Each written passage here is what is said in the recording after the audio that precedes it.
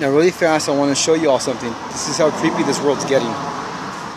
This is a regular shop here on University Avenue, just a regular shop. This is the norm. So if you think the Antichrist isn't already here, you've mistaken.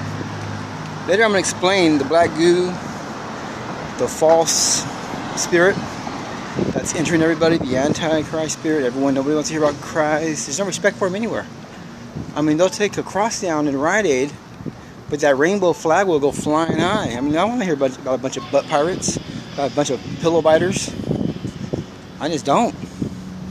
I'd rather hear about Christ who loves us, who created us, who died for us so a man and woman could have forever together as soulmates. That's what I'd rather hear about. Soulmates. Man and woman become one flesh, going together as soulmates. How about two men that love sandpaper? Or two sick women that like to smell each other's nasty period juice? I mean, it's disgusting. Check this out. This is a regular store now, right here on University Avenue, corner of uh, Utah Street, Baphomet. Check that satanic stuff out. Look, he even got some two horns right there. Bam. I it. I rebuke that in Jesus' name. May the owner, especially if it's a hybrid, be sent back to the pit. In Jesus' name, all authority. See, that's just demonic. This is what this is the time we're living in, folks. Satanic agenda has began, and it's right here. in This wherever this shop is, right here. Satanic in the corner of Utah Street and University. It's devil worshiping. If you want to worship the devil, and you and your kids are into Satan, and you bring your kids here and eat. But let me remind you what the devil is about. He's about killing you and your family eating your liver for dinner. He's about pain, cancer, misery, death, everything terrible. Or you can go with God, who's about love, life, happiness, stimuli. It's one or the other. You can't have them both.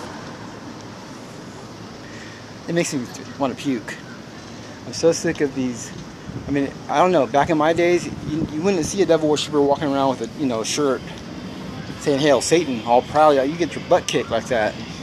And I believe in freedom, I do. I just don't want to see in public so much devil junk. I mean, it's one thing to have your opinion, but when they can take a cross down, you know, in Rite Aid like this, but their Baphomet flies high and their gay stuff flies high, it makes me want to puke. I mean, I'm just being honest. I'm going to lie to you. I'm just keeping it real. These reptilian fallen angels are going down. The reptilian fallen angels are going down. In Jesus' name, all authority is given to us. All authority is given to us. Which means if I say they're going down in Jesus' name, that means they're going down in Jesus' name. Authority means that you have authority. It doesn't mean you have authority for a few minutes, and then it goes away, then it comes back. It means you have full authority. I'm taking all this down by myself with the power of Christ, not my power. None is mine. But like a radio, I'm picking up the signal and I'm rebuking it. And then the churches, I'm going to go church to church. We're all going to go to the public with disclosure. And then we're going to see what happens. I already know what's going to happen. We're going to smash them. It's having a fair fight. They worship a devil that was created by our God. Must I remind you that? Our God created their God.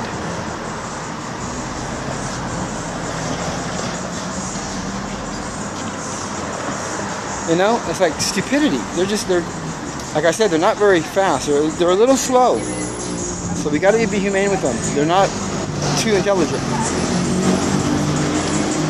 So we'll have to take it easy on them. They're a little dumb, a little slow. I mean, you worship a created being, and I worship the God that created your God. Who do you think's gonna win? The created being that has limited power, or my God that created your God that has unlimited power? And, and, they want, I know they want some of my God. My God has love. But they're not going to get it because they're choosing the devil. Which one of you is the devil? Ah. Again. Ah. You know?